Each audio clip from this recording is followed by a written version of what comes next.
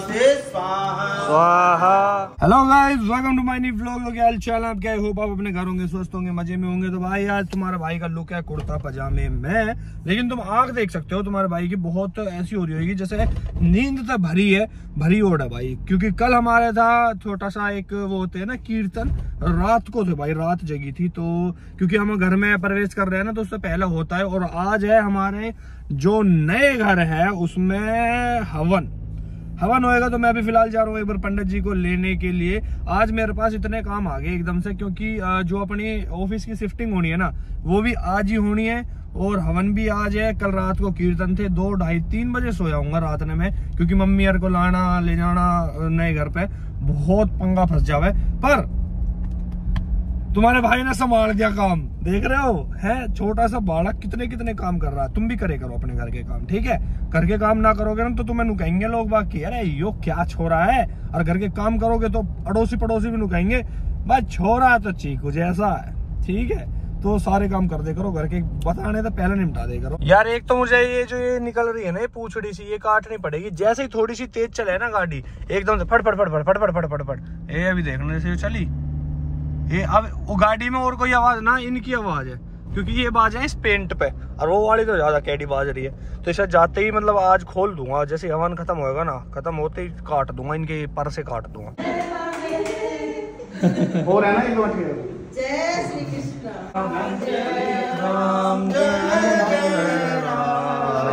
बात करना पड़ेगा वीडियो चेक करूँगा मैं चला जाऊँ। जय बात। नया घर मुबारक हो। आपको टीका तो बहुत खतरनाक है इसमें पाँच दिन ना हटा। वो मम्मी का था फिर ठीक है। फिर ठीक है रात में वीडियो बनाने के लिए रुकना पड़ता है यार। ओहो कैमरा ही ना करा मैंने तो। टीका लगे चावल लगे दोबारा लगाऊँ टीका भाई जिसके चावल लगे उसने पैसे देने हैं अच्छा ऐसा भी सीन है क्या? हाँ। निकाल ले दांत रे, निकाल ले। तू नेताजी बना घूम रहा है। स्वाहा। हर हर महादेव।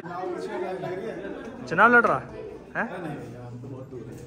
फाइनली पूजा हो गई है। भाई, मेरा टेंशन हो रही थी कि ये ये ये ये ये ये चीज़ें हैं।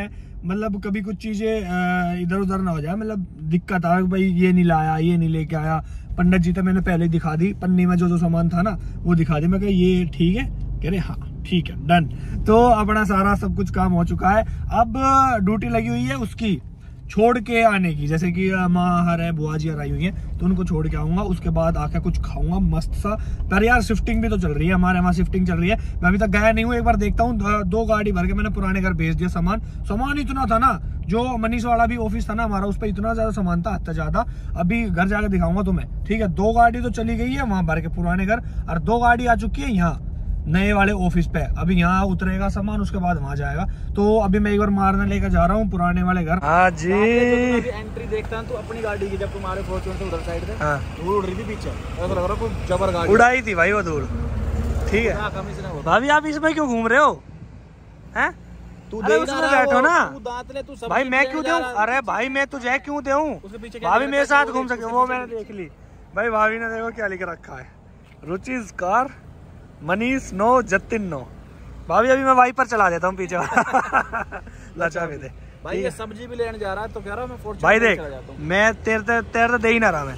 भाभी मेरे साथ भी घूम सकती भाभी। बता देना इसने कल वाले ब्लॉग में मेरे में पूछ रखा था लोगों से कि मैं मतलब ये कहती मैं चलाना चाहती हूँ तो मैं चलाऊँगी। मैंने कहा अभी नहीं प्रेगनेंसी में। तो कह रही कि अगर पब्लिक कहेगी तो मतलब ऐसे चला देंगे। पब्लिक कह रही है कि भाई थोड़ी देर चला लेने दो। मैंने कहा यार ये तो गलत है तुम तो पलट गए भाई। गलत है चल ठीक है हर बार की तरह चाबियों का बड़ा खेल है मेरे साथ ना मैं गाड़ी की चाबी रख कर भूल जाऊँ या फिर फ्लैट की चाबी रख कर भूल जाऊँ तो फ्लैट की चाबी थी मेरे पास और अभी मैंने मनीष से चाबी ली पुराने वाले घर की जो बादशाहपुर वाले घर की है ना उसकी मैंने ले ली और मनीष जा रहा था फ्लैट पे तो उसकी चाबी मेरे पास थी मुझे देना देनी थी उसको पर दिमाग में तो उतर गया और मैंने कह दी कि मम्मी के पास है चाबी अब फ़ोन करा उसने कि मम्मी तो कह रही है, तेरे पास है? फिर मैंने चेक करा, मैं ओ मेरे पास ही अब दोबारा वहाँ जा रहा हूँ, भाई चक्कर, आधी से ज़्यादा ज़िंदगी मेरी इसी में निकल जाएगी गाड़ी में घूमते घूमते। इसको चाबी लेनी है, ठीक है, पर देखो कैसा आगे आगे चल रहा है। अरे भाई यार रुक जा। ए, हमारे सामने क्या हुआ? देख भी ना रहा भाई। अरे देख ना रहा